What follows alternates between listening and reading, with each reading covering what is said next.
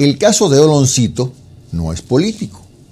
Que haya actores que quieran más protagonismo que descubrir si hay o no una afectación al ecosistema, eso es otra cosa.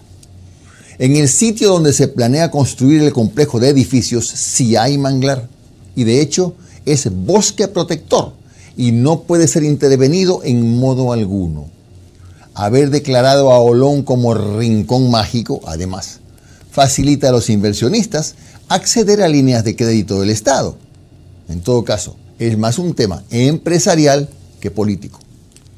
La preocupación de los ambientalistas es el cuidado del patrimonio forestal.